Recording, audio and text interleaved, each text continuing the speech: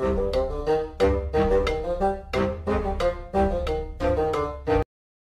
Hello and welcome to the Critically Clueless. I'm the Monk and today we are in Pathfinder Wrath of the Righteous and this video is another puzzle explanation. Now we are in the Grey Garrison right now and this is going to be a video about how to solve the singing statues. As you can see this is where I am on the map. You're going to know you know exactly when this pops up because beforehand you're going to be fighting yourself a succubus.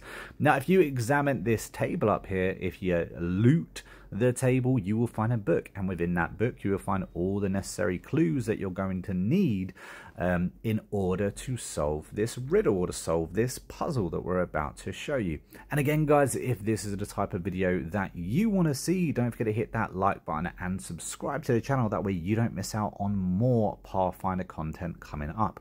Of course, we're going to be continuing to do our, um, our early build guides and classes and if there is a class or a build that you want to see don't forget to comment that down below in the comments and I will do my very best to get that to you as soon as possible and if you are stuck on any other puzzles or or traps uh, within the game comment that down below as well and it gives me an idea of what to look at and what to cover in the future Anyway, let's get to the puzzle at hand.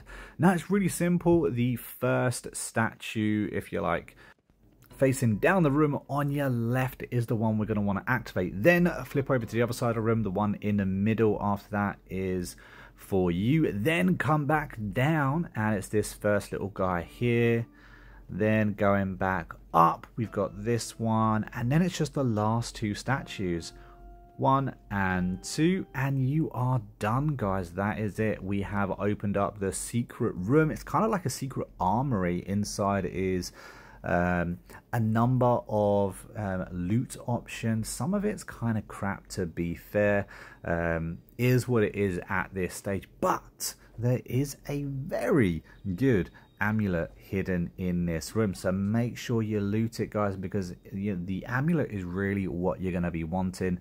Um, was the puzzle really worth you know them guarding that much? Probably not to be fair. I mean if you don't know what you're doing this puzzle is a bit of a git um, and an amulet, it's definitely good, but it's not like, you know, next level, next level. However, the amulet does allow someone who uh, focuses in a finesse weapon, who focuses with dexterity to use wisely. So I'm going to show you that as well. But thank you for joining me guys in this video. If this video has been helpful to you, don't forget to hit that like button and subscribe to the channel. Hopefully um, you know, I've done what I said in this video. I've shown you exactly how to solve said riddle, said puzzle. And here is the amulet. Um, amulet of agile fists. If the wearer of a weapon um, finesse feat has the finesse feat, um, this amulet allows them to apply their dexterity as the multiplier in place of the strength, basically meaning that you're going to be able to hit harder with those dexterity based weapons um, if you're wearing this amulet. So I think it's pretty cool. I've definitely got a companion that I'm going to be putting out on, so I'm kind of glad that I did get it. Puzzle is a little bit hard just to be getting that amulet, however, but I do think it is the best thing you do get from that back room. Anyway, I've been a monk, we've been a Critically Clueless, and I will see you guys in the next video real soon. Until then, take it easy, and of course, as ever, happy gaming.